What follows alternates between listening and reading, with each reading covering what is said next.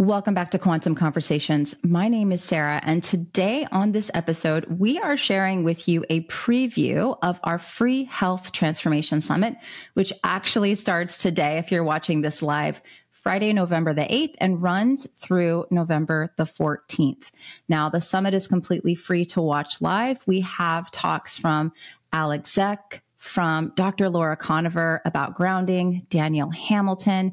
We did previews of all of those chats on last week's episode. So if you missed that, make sure you go back and watch it. This week's episode, we are doing preview chats of my talk on light and metabolism, Carrie's talk on nervous system and nature. We also have a really good talk about cancer and circadian biology with Zaid. And then Mateo from Axiom about hydrogen, which is a really fun chat. So if you enjoy these free little chats here on the podcast, make sure to head down to the show notes to sign up for the summit. It's completely free to watch. We'd love to have you. And then if you want to check out the upgrade package, in that upgrade package, we have a few courses worth about $2,000, one of which is going to be my brand new Leptin three day kickstart course, which is not available anywhere else. Carrie's nervous system and nature course, which is not available anywhere else and several, several more that I think you're going to find a great amount of value in. So make sure to head down to the show notes, check that out. We'd love to have you and enjoy this really fun episode where we're showing you a variety of different topics to help you improve your health. I'll talk with you again soon.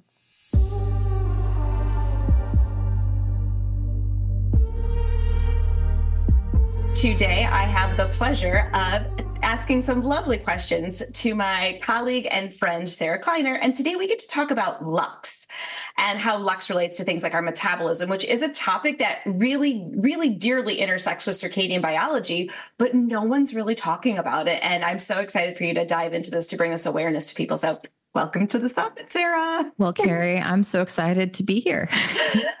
um, I think that I think me just saying the word lux for some people is going to be like, what the heck what is, is that? that? So, right. So, why don't you start at the beginning and and bring us up to speed? Yeah. So it's often left out of the conversation completely. And I didn't really understand it very well until I started diving deeper into it just in the last six months to a year really um, and then you hear you you also hear about it in context alone of using a 10000 lux light box which i want to break down in this conversation as well right. as like why that's not necessarily appropriate but it's the amount it's like the intensity of the light the brightness of the light um, so we talk about frequency we talk about getting sunrise uva uvb the importance of those for neurotransmitters neurohormones uh, cortisol production thyroid hormone production dopamine you know all this stuff right. uh, serotonin all of that uh, is in response to um, sunrise and UVA light. So those are really important. But what's also important is getting a certain amount of brightness uh, to communicate with the brain as well to turn on the metabolism, prevent seasonal depression. And so this is, again, it's been studied. And what we see is that to get metabolism revved up and to prevent seasonal affective disorder, we really need at least 1300 lux in the morning, is what's shown. Uh, and, you know, even getting up to 10,000, of course, that's also been studied, has also been shown to give significant metabolic benefits where there's reduction in BMI, reduction or regulation of appetite, because not everyone wants a reduction appetite. Some people mm-hmm. want to have an appetite in the morning. Right. So there's appetite regulation impact and then a loss of body fat. These happen with these specific uh, brightness uh, basically exposing people's eyes to the specific brightness. And so it's kind of this kind of lost and forgotten part of light exposure. And then at night for your body to make melatonin, we often talk about how we want to block the blue and green frequencies because those will tell the brain to continue making cortisol and kick off that sex steroid hormone pathway. But we also need lux to be at 10 and below the three hours leading up to bedtime for this pineal melatonin to essentially do what it needs to do for it to for it to start being secreted and so and the sleeping environment one lux and below and so yeah we talk a lot about blocking blue light and getting the right frequencies of light, but we some we forget about the intensity or the brightness or the absence of that in regards to um, supporting metabolism, overall health, really. Uh, amazing. That's super, super helpful. I feel like you just said a whole podcast worth in like three minutes. three minutes. Um, so, so okay, so let's just kind of give some people some awarenesses. And so, let's say if I were to wake up and not like go outside and get that brightness stimulation, what would be the the lux that I'd be exposed to, just kind of in an average indoor living space at different times throughout the day? Yeah, I mean, it depends on if you have overhead lights on, if you have super bright lights on, but most indoor lighting, like I don't have it on today. I'm experimenting with just using my window because this thing gives me such a headache, this light in front of my, my desk. But when I have that light on, it'll measure around 400 lux. And that thing is so incredibly bright. Um, most indoor lighting is going to max out and it has to be super bright. It's going to max out around 500 lux. Um, and just average, you know, if I was to measure right here with the window closed, is probably going to be around 25 lux, you know, so it's pretty dim on the inside. Um, but just going outside, even on a cloudy, rainy day, like I did yesterday, it was cloudy and rainy, and I measured um, with my app, the My Circadian app, the lux outside, and it was 1300 lux, even cloudy, rainy, and it was still in that sunrise window. UV had not even come online yet. And so that brightness that's needed was available even through clouds and a little bit of rain. Perfect. So I think this is the thing too, where especially where I live, everyone um, you know, has a, a, let's say a vast majority of people in the winter have symptoms of mm-hmm. seasonal mm-hmm. affective disorder. Mm-hmm. And what I was told probably now 10 or 15 years ago before I really dove deeper into this circadian biology was that get this 10,000 lux bright box. box. right? Light box. And I had it on my desk, I, you know, at the office, and I had it kind of angled, like maybe, oh, 18 inches away from my face and had it shine into my eyes for 20 minutes during the morning.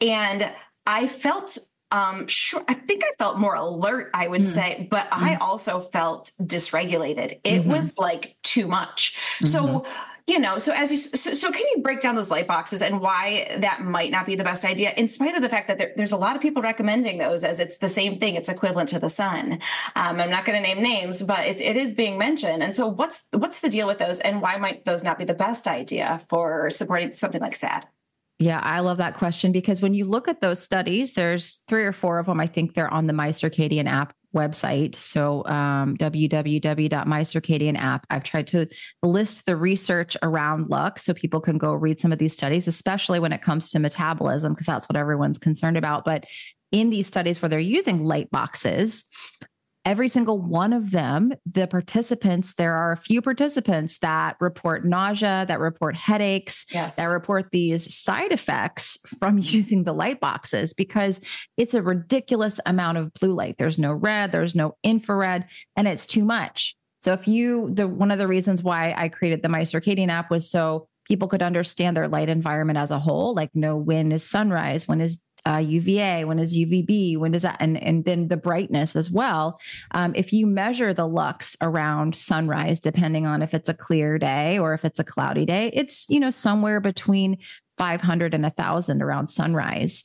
And then it gradually increases. So there's a gradual increase in blue light. There's a gradual increase in intensity. There's a gradual increase in this, you know, the light coming on board. And it's just not like a 10,000 lux light box where it's like, I'm just going to blast this level of blue light, not balanced with red, not balanced with infrared, no UV light, which is crucial. Uh, UV coming into the eye to turn on very specific hormone and neurotransmitters.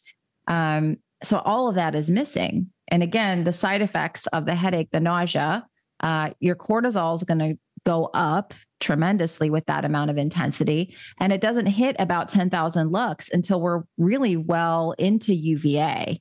Um, so sun has been up for an hour or so 45 minutes an hour and then as uva comes online it'll be 4000 it'll it'll climb up gradually um, and so that intensity of light is not going to be there until that morning uva time and it'll be balanced with again near infrared, red, far infrared, like the full, it's full spectrum, right? Today, I have the pleasure of talking with my dear friend and colleague, Carrie Bennett, about the nervous system and nature, which I am so fascinated by this topic. So, yeah, let's just dive right in.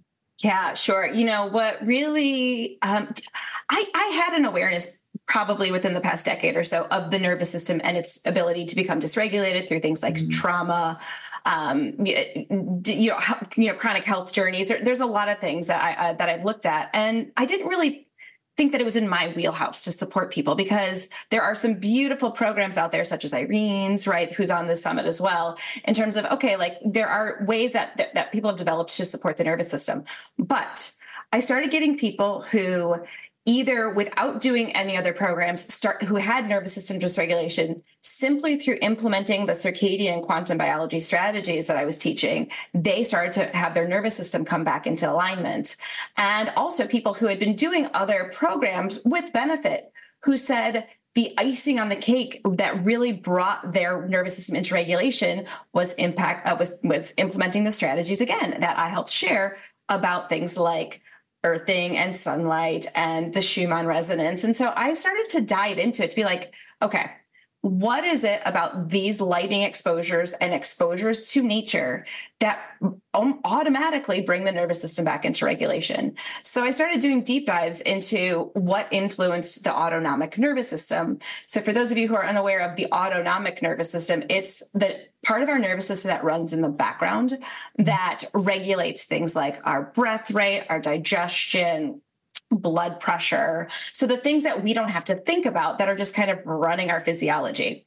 And it turns out that most aspects of modern living can be very dysregulating to this autonomic nervous system which we can talk about in a second but the good news is is that so many aspects of connecting back to certain natural signals again automatically help to bring our regulation back into rhythm. And so from that you know i just got, the inspiration to craft a mini course which i i'm actually this is the only place that i've, I've offered it is if you purchase the upgrade package for this summit. Um, but it really truly brings together my knowledge of the science of why things are dysregulating these days and then also why and how nature and connecting to nature is the solution to help support your nervous system. Mm, I love that. And it's it's so empowering, I think, for people because it's free. You know, there's yeah. I know you and I have spoken about nervous system regulation and different practitioners we admire and different programs and but those can be really pricey and yes.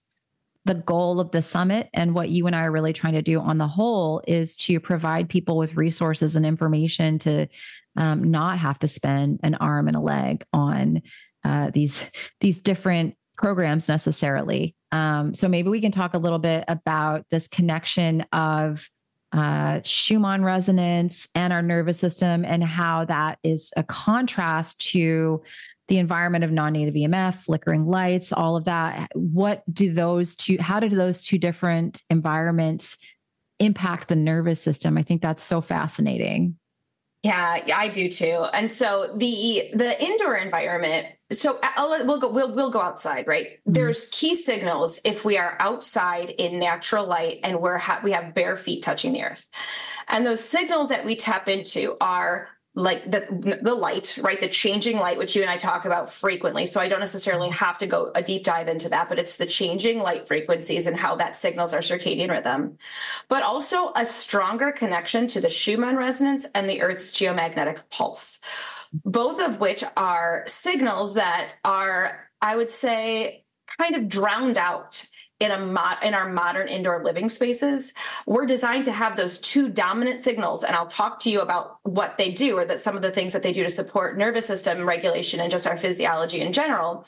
Um, but the issue is is that being indoors number one i'm not under circadian friendly lighting. So oftentimes I'm going to be in a blue light dominant environment that lacks the UV red and, and near infrared and far infrared for that matter. Mm-hmm. Um, and so my lighting environment is different than nature, but so are the, the other frequencies that I'm exposed to. One frequency that I think is underrated in terms of its ability to dysregulate anyone is flicker coming mm-hmm. from light mm-hmm. bulbs. And the, the light bulbs will flicker, these new modern lighting, the new modern light bulbs coming from LEDs, but also fluorescents as well.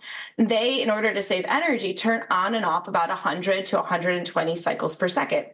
Now, that's that would be like if you could see it in real time being in a strobe lit club environment right where it's on off on off on off that picture alone of me just picturing my body in that environment would be like whoa like i have to get out of here. This does not feel safe to me. And um, while incandescent bulbs did have some flicker associated with them they didn't flicker in the same what's called amplitude. And so incandescent bulbs had a flicker where they turned a little bit, they, they turned on all the way and then a little bit off and then on all the way and a little bit dimmer, but they never went on, off, on, off. And that's what we see with LED lights from the screens, the bulbs, you know, televisions. Mm-hmm. And so that is truly where I think it's getting more and more dysregulating for, for people. And we can't, because we can't perceive it in real time, it's almost like the feeling of a hidden, the hidden boogeyman. It's like mm-hmm. something feels off about our environment, but we can't pinpoint it because yeah. I can't actually see it in real time. Mm-hmm. Yeah.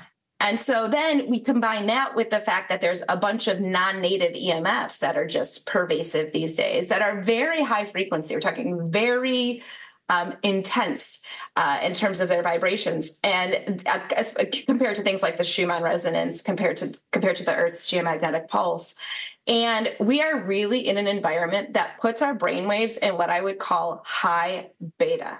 We want to talk a little bit about why we both use more red light therapy in the winter, really quickly. Yeah, absolutely. You know, come summer, it is so easy for me to pop outside for five minutes here, 10 minutes there, take the clothes off or and, and just soak up the natural light right and i know i know you do i know you do the same and it's beautiful because we're getting all of those um, red and near infrared wavelengths from the sun and imparting all those um, all those healing benefits from sunlight but come you know november december in michigan there's very little opportunity for me to do that. It's just too cold, you know. And so I'll go outside and get my light signaling through my eyes, but my skin really the, that that infrared and red that I want to absorb through my skin is just lacking. And so that's why I would highly recommend if you do if you live in an environment like that, you consider using a red light therapy panel in the winter. It can be the biggest game changer. Yep. And we both love the Bon Charge Mini. This is super convenient. You can take it with you traveling. Um, I, you know, you guys don't know when I'm recording the podcast, half the time I have it on my low back or somewhere in my body yeah, to mitigate some of this blue light. And for the months of November and December, you can use the code QuantumPod25 for November and December only to get 25% off the panel or anything on the Bon Charge website. Carrie and I are both big fans. Yeah, and it, one more thing, really quickly, with that, it's a great gift too, right? If mm, you want oh, to start yes. getting people involved in this lifestyle and say it's a, the most convenient way. If there's a mom that you know who needs to tend to boo boos and aches and pains from for kids, or earaches, tummy aches, sore throats, it's a phenomenal gift to give as well because it really can wipe away pain very fast. I love it. All right, check it out. Link is in the show notes. I'm so excited to have today my guest Zaid who is an expert on circadian biology. And uh, we're just gonna we're just gonna talk about what Zaid thinks is the most important thing for your health and how you implement that with clients, how you teach that. So I'm so excited to have you here. Yeah, likewise. I can't wait for the summit, and uh, it's going to be fantastic. Yeah, absolutely. Well, I guess we could just start with that question. You know, what is the most important thing that you think people really need to understand when it comes to their health? I would say um, something that I've come across lately and something that I've been exploring a little bit more because um, I've just been, you know, looking for topics to post on social media and whatnot is the connection between artificial light exposure at night, especially, and cancer. Um, mm-hmm. I, I found it very interesting that there's one particular paper, I forgot the name of it, but I can definitely reference it in the future for anybody. Um, that they actually show a causative effect of artificial light at night um, on various uh, forms of cancer. And so, if you look at the the mechanisms behind that, I mean, we're talking about the destruction of pineal circulatory form of melatonin, which is a potent anti-cancer compound. You're talking about circadian disruption in and of itself, which has been strongly linked, if not, um, there's a causal link to uh, many forms of cancer. And so I think that's something that's always struck me because most people would never assume that the lighting system over you know their heads is is causing some of the the gnarliest chronic conditions known to man in the form of colorectal cancer or skin cancer you name it so that's just something that comes off the, off the top of my head Yeah, I think that's a really important topic, especially since this summit is coming out November and we just had a time change unless you're in Arizona and you're lucky enough not to have to deal with that. But the prevalence, I think, of these hormonal diseases, cancers, metabolic issues, depression, anxiety, they rise in the winter. And we have more darkness in the winter. And everyone's very obsessed with vitamin D supplementation in the winter. But I think what a lot of people don't understand is this importance of maximizing pineal melatonin and that something as simple as light coming into their room at night or just improperly using light around their house could be a huge factor in these disease prevalences. Yeah. And melatonin in general, I, I don't think people appreciate how powerful of a compound it is, how powerful of a hormone it is. It is mm-hmm. a circadian hormone, meaning, I mean, you have the subcellular form that's stimulated from near infrared light outside during the day. Mm-hmm. Um, that is, I mean, it accounts for what, 90, about 94, 95% of the total melatonin your body produces. Mm-hmm. And then mm-hmm. you also have the circulatory pineal form, which gets activated from darkness after sunset. And mm-hmm. so you mm-hmm. can see how melatonin is one of these hormones that is inextricably tied to circadian biology, the light and dark cycle. And it even goes to show how ridiculous some of the like supplementation messaging is on melatonin itself. Um, and so I, yeah. I don't think people appreciate that at all. Yeah, I would love. I was going to ask you about your your thoughts on supplementation because I've used to be like completely anti um, and I still, for the most part, don't think that people should do that as a first line of defense. But after looking at like Zimmerman, Reiter, a lot of that research, there's some interesting information out there. But I'd love to hear your your take on melatonin supplementation. I mean, this is an area where I'd have to do more research because um, you have the argument that high dose melatonin offers quite a few benefits. I haven't gone through any of the studies on that, especially on cancer. But then again, we're talking about when somebody actually develops cancer. So when they're past the preventative stage. Yeah. Um, low dose, I mean, certainly most melatonin supplements are overdosed. Mm-hmm. Uh, oh, I yeah. think there was a Harvard study that showed that even um, even in the micrograms, it sh- it should be pretty powerful and active. But uh, I'd say in general, for most people in most scenarios, you don't need to supplement with melatonin, knowing what we know about the fact that it is a circadian hormone. And so we always go back to the fact that you should be getting AM sunrise, should be spending as much time as you can outside, sunbathing for a portion of that time. And then, of course, the most important one as well, considering that we have a duality here, is uh, the darkness after sunset.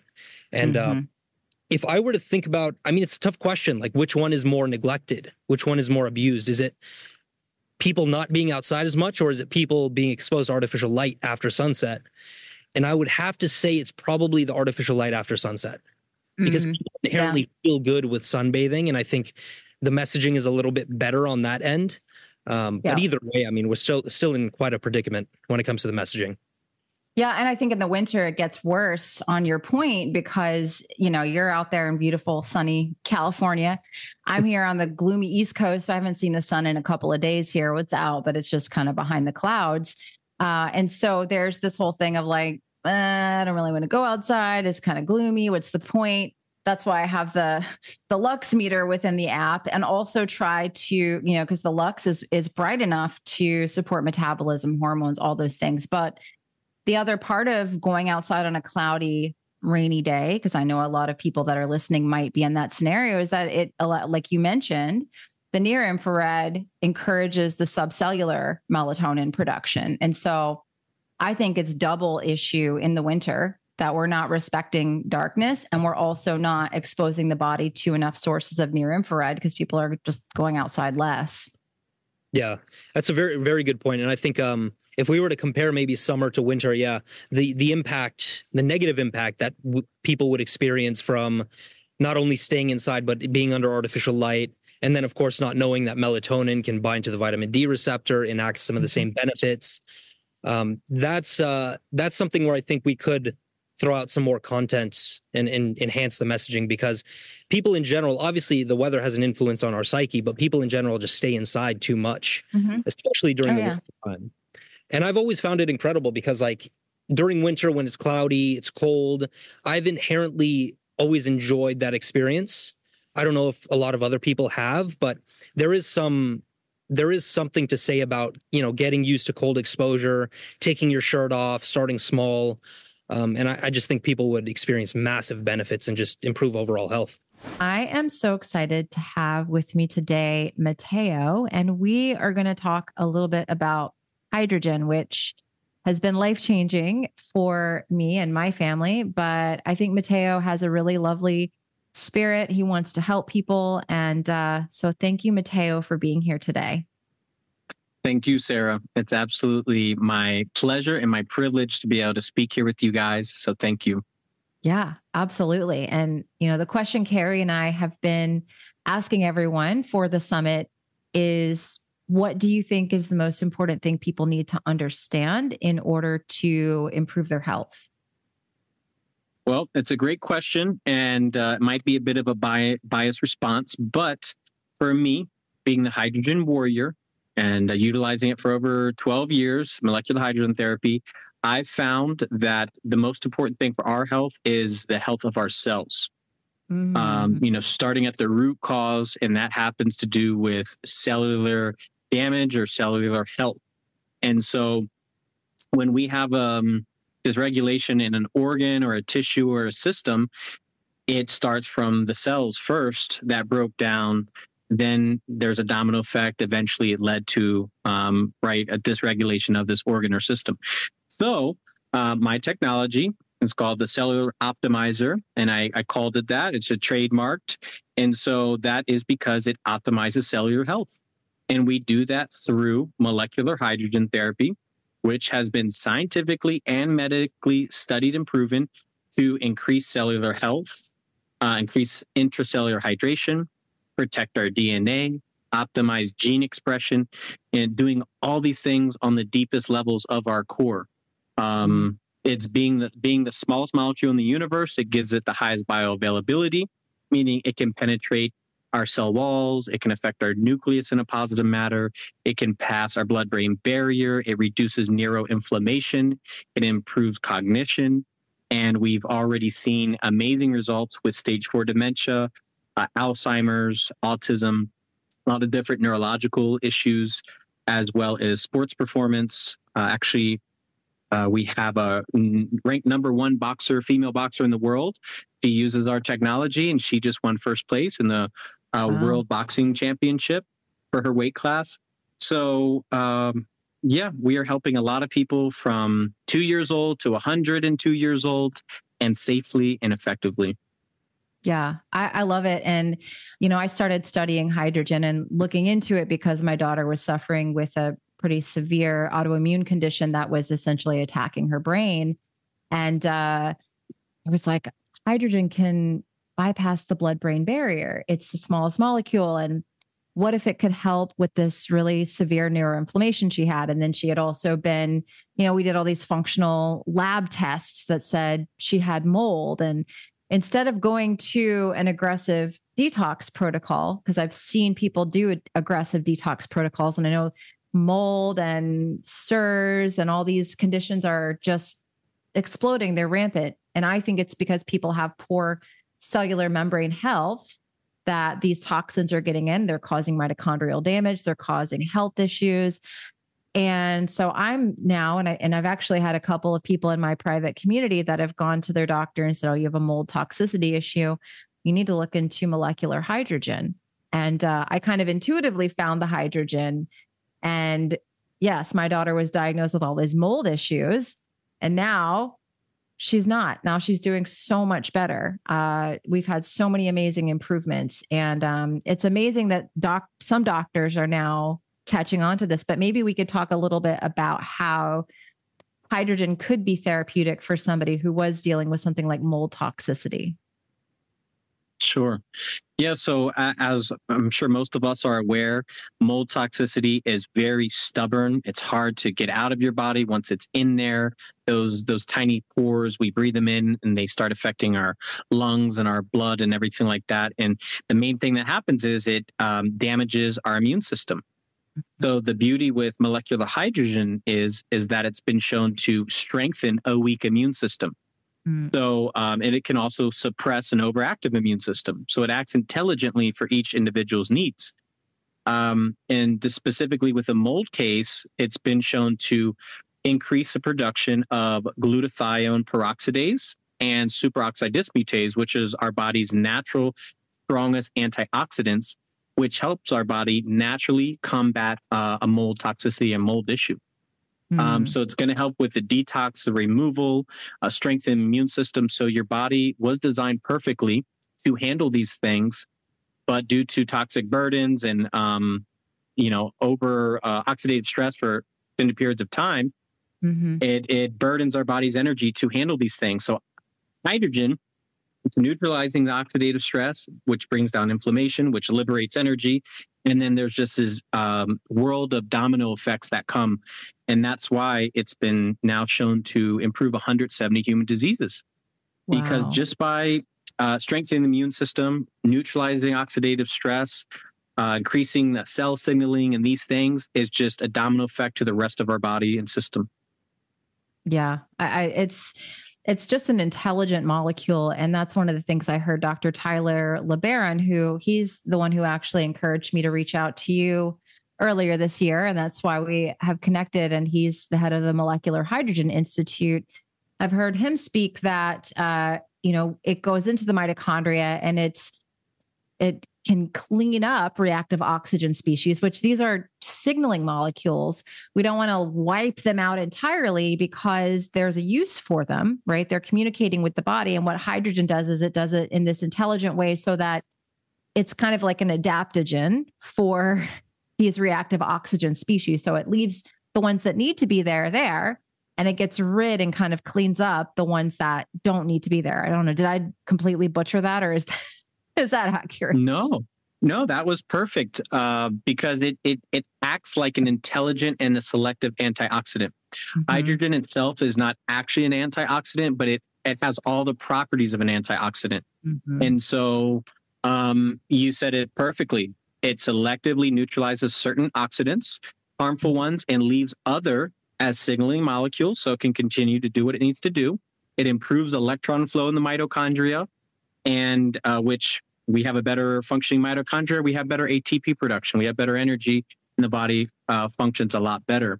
And so, mm-hmm. some of the world's top doctors they only focus on mitochondrial health, mm-hmm. and so we know, and it's been proven, hydrogen helps mitochondria.